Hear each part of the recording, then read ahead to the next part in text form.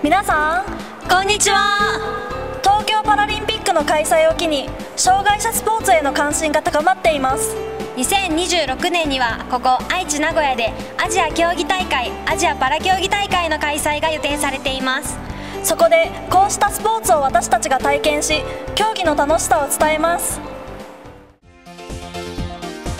下肢などに障害のある選手が座ってプレーするバレーボール全部が床についたまま競技を行います。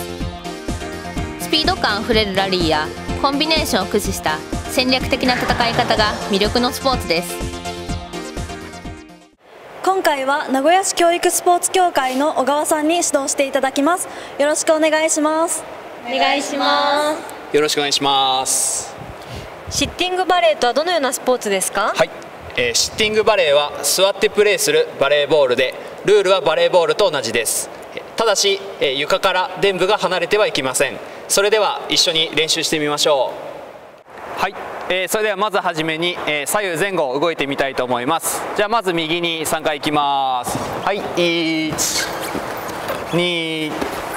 はい3いいですね。じゃあ今度、えー左3回いきます。あ足入れ替えて。1はい。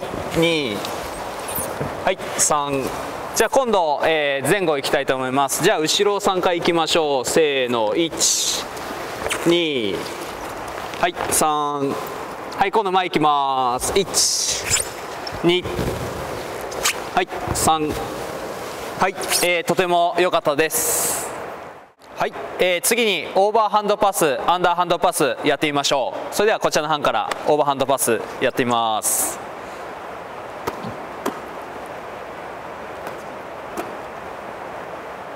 はいいいですね。じゃあこちらの班行きましょ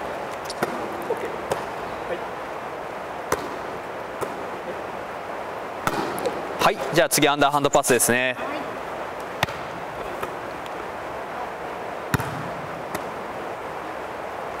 はいいいですね。はい行きましょ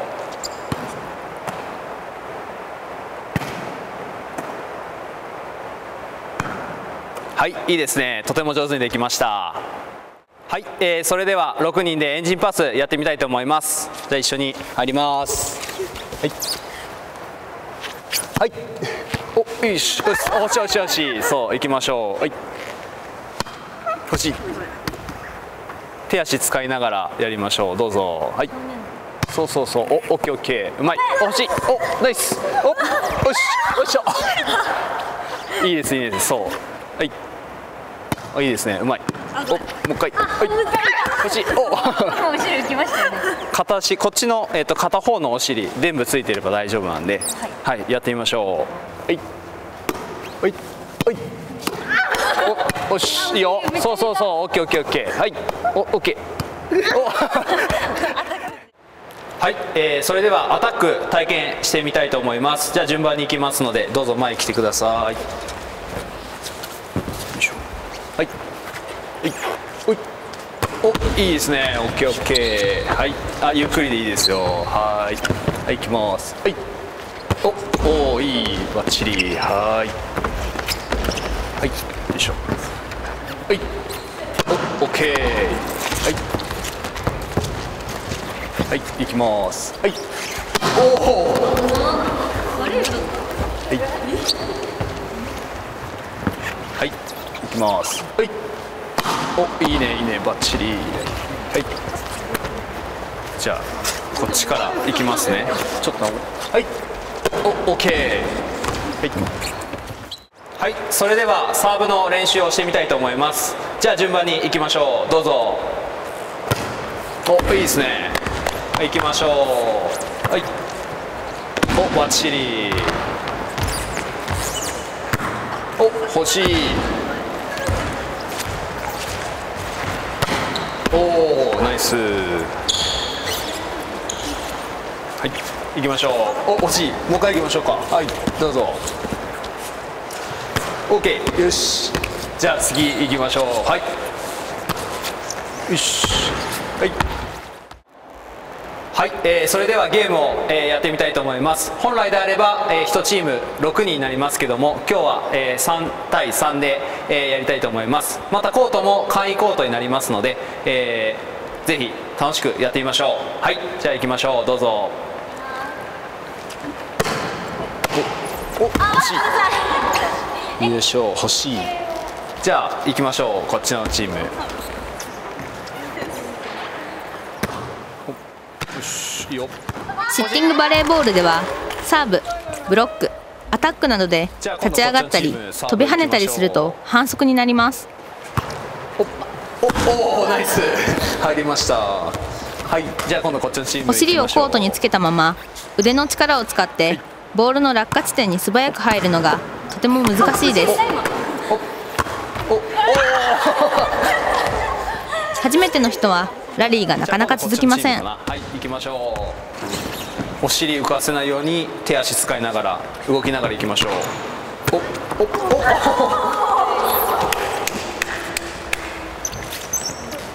じゃあ今度こっちかなおお惜しいじゃあもう一回行きましょ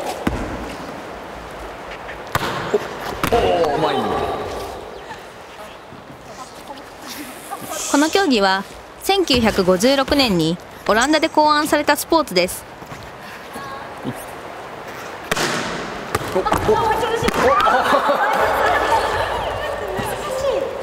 ボールが落ちてくる前に体を動かしてボール取るように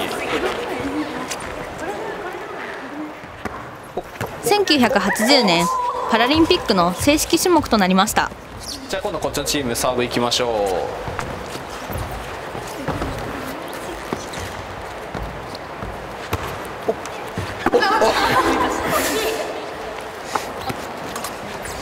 場所も自由に動いてもらっていいんでやりやすい方に。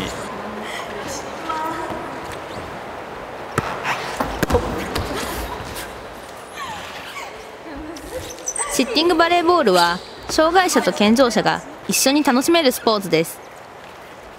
スポーツを通して障害者と健常者が共に運動できる競技として世界に広がっています。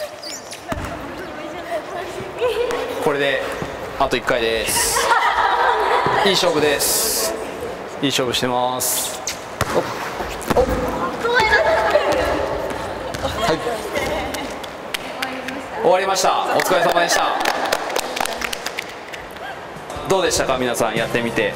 なかなかやっぱり続かなかったかなっていう。やっぱりその、えー、といつもと違ってお尻をつけながらコートの中すごい広い中を動くっていうことなのであのいかにその動くことが大切かあの難しさも体験できたかと思います。シッティングバレーボールを体験してみていかがでしたか？下半身をつけたままプレーをしなければならなかったのでボールとの距離感をつかむのがすごく難しかったです。上半身だけでボールをコントロールするのがすごく大変でした今回はシッティングバレーを体験させていただきありがとうございました。シッティングバレーを行う上で重要なことは何ですか？はい、えーコートが小さく、えー選手同士の距離が近いためボールが飛んでくる前の時間が短く、えースピード感のあるラリーになります。そのためチーム一体となって戦うことがとても重要です。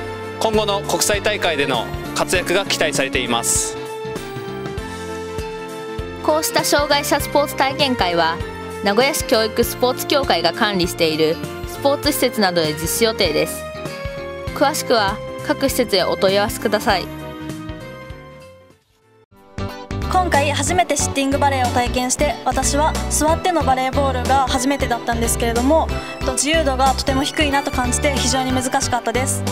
私は高校時代にバレエを経験したことがあるのですがシッティングバレーは目線の違いなどから非常に難しさを感じました。